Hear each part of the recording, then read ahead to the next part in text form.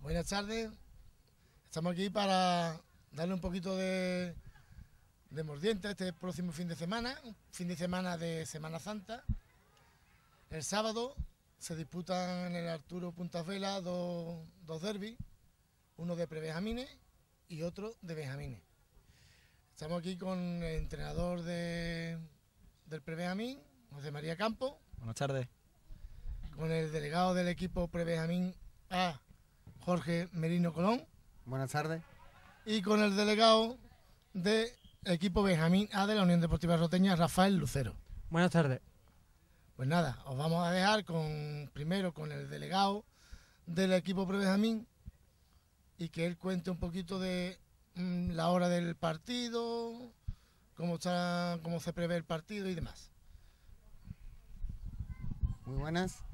El partido sería sobre el sábado a las 12 de la mañana y se presenta un partido muy bonito y un derby roteño.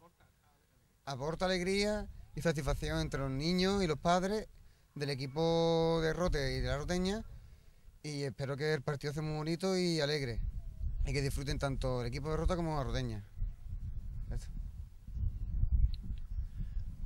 Aquí está, os voy a dejar ahora con el, entrenador del Prebenjamín A de la Unión Deportiva Roteña.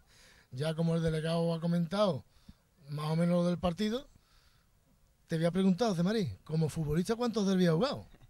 Como futbolista, vos piensas, desde Benjamines hasta juvenil, pues, dos por año.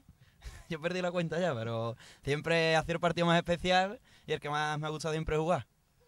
Un partido bonito y aparte lo- la edad de que ahora son niños de 7 y 6 años, es especial todavía más, ¿no?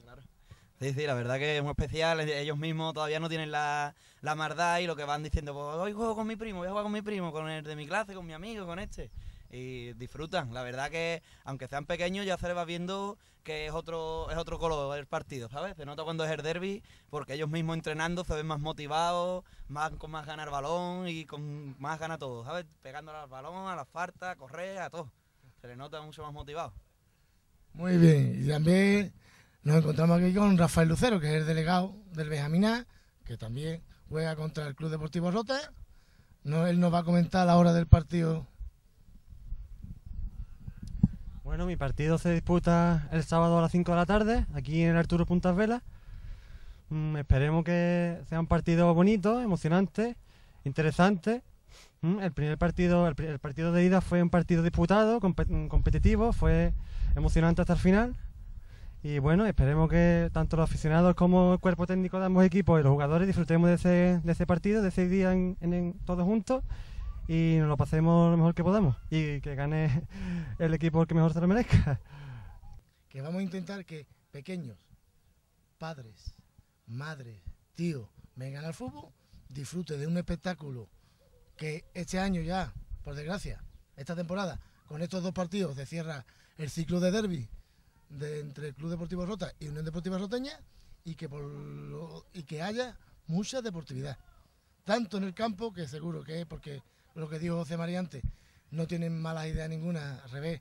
Ellos lo que quieren es jugar y disfrutar de un campo que está en perfectas condiciones, como estáis viendo detrás, y de una mañana y una tarde con el prebenjamina del Club Deportivo Rota, Unión Deportiva Roteña, y Benjamina del Club Deportivo Rota y Unión Deportiva Roteña.